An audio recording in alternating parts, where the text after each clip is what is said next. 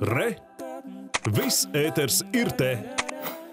Turpinājumā par izglītību un par atbalstu tai, kas ne, nenoliedzami ir ļoti svarīgs. Pirms 20 gadiem Vīls Vītols kopā ar sievu izveidoja Vītolu fondu. Tā mērķis ir stipendiju veidā atbalstīt jauniešus, palīdzot tiem iegūt augstāko izglītību kādā no Latvijas augstskolām. 20 gadu laikā fonda ziedojuma apjoms sasniedz 28 miljonus eiro. Ar stipendijām atbalstot vairāk nekā 4000 cilvēku. Un vairāk par fondu un kāds radās. Tuliņi pastāstīs Ulds Birziņš.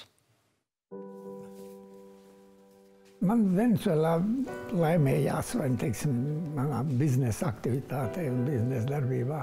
Un, uh, laimējās, uh, izdevās kopā ar tēvu. Tēvam bija liela nopelna tajā ziņā.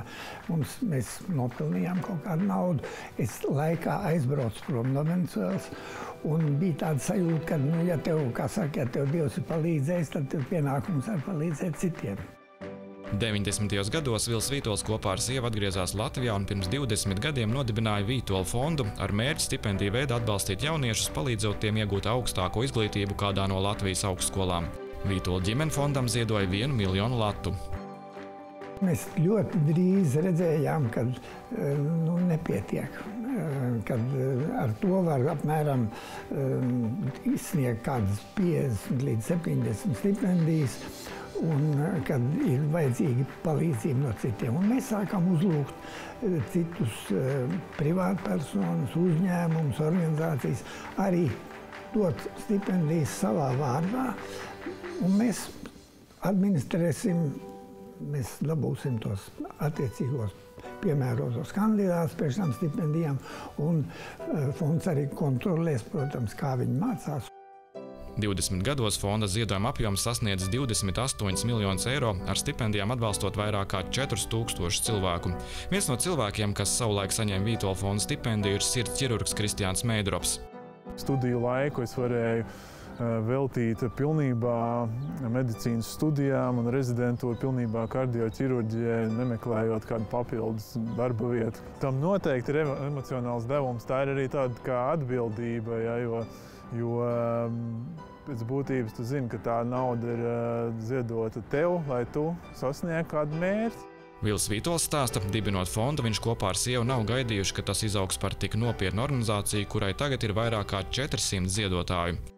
Katru reizi, kad es ar tiem, kā, kādiem no tiem jauniešiem satiekos, ir tāds, tāda pacilātības sajūta, ziņa, ka jūs redzat spējīgus jauniešus, pozitīvus.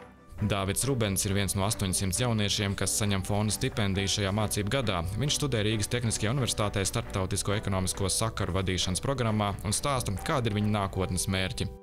Kaut kas tāds, kur tas mans ieguldījums, viņš eh, neaprobežojas tikai, pieņemsim, firmas eh, gada bilancē, bet arī kaut kādā reālā iegūmā cilvēkam. Un cilvēku var satikt vai nestikt, bet tu zini, ka kādam no tā, ko tu izdarīji, bija labums.